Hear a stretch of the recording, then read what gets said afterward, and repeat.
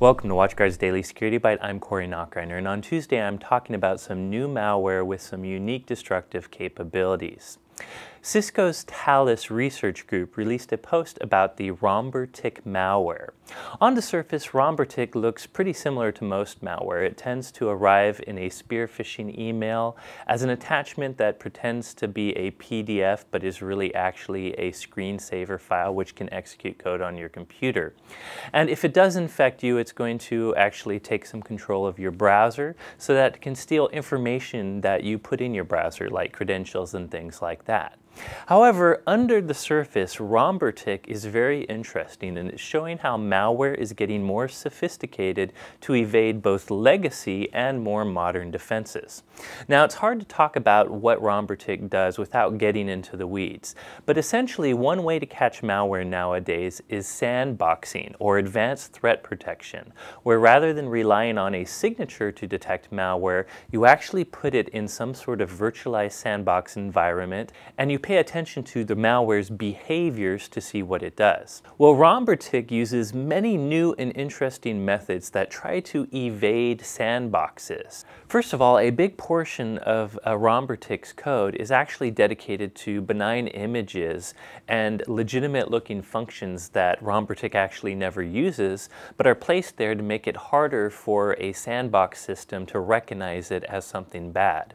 Another very common thing malware does to get past a sandbox is it knows that analysis systems can't wait for a long time. So malware tries to pretend to sleep or wait for a long period of time before actually doing something bad. Now many sandboxes like WatchGuard's own APT blocker through Lastline can detect many of these sleeping methods.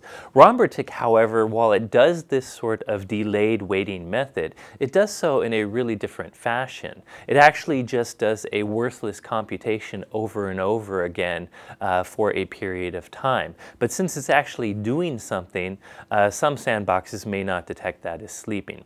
But most important of all, once Rombertik really infects your computer, it does this one check where it basically checks the checksum or it checks the validity of a particular payload running on your computer.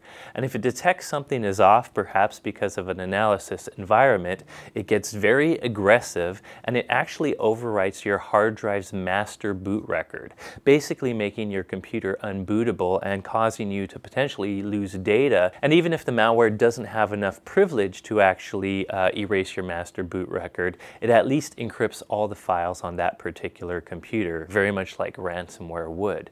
So this is very destructive malware and quite interesting. Now, what can you do about this? Well, first of all, with any destructive malware, one of your biggest security tips is just a general best practice. Do you have a backup of your most important data? Obviously, you want to prevent malware from entering your network, but there is no guarantee in this life. So you should always have backups of your most important data. Now, another very useful tip is signature-based antivirus is not good at catching evasive malware. You need something that uses some sort of behavioral analysis, things like advanced threat protection, such as what we provide at WatchGuard with APT Blocker. Now, this malware is specifically designed to try to evade even sandboxes. This will always be a cat and mouse game, but sandboxing is going to be the only way to detect some of these behaviors and catch them. The final thing is to understand some of the subtle differences between network-based and host-based security. There are advanced threat protection or sandbox environments that run on your own computer. There are also sandboxes like our APT blocker that run on your network and intercept and analyze malware before it actually gets to your employees' computers. Now, if a sandbox were running on your user's computer and this file, Rombertik, got on their computer and it overwrote the master boot record, you've lost your computer. The good thing with network-based protection is we are running this file somewhere else. If Actually detected the analysis system on this network-based or cloud-based advanced threat protection system, that's the system that would be affected by the destruction, not your own personal computer. So that's just one pro in this case of network-based security controls over host-based security controls. So just to recap, be sure to back up. Make sure you don't just rely on signature-based AV. You need advanced threat protection. And finally, there's a lot of benefit in having both network and host-based security. That's it for today. Thank you for watching.